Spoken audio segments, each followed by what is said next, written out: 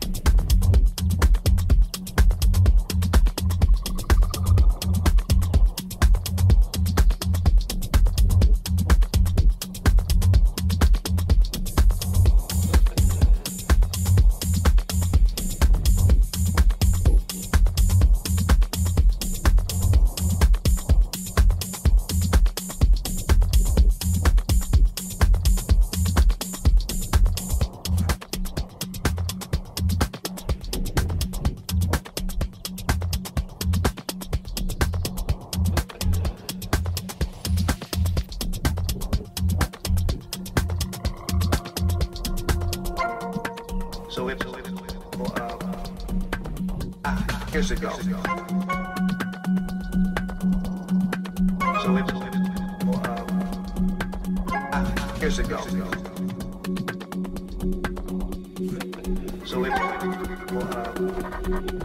uh, years ah, ago. Last time I checked, Cat Williams is either going to end up dead or living.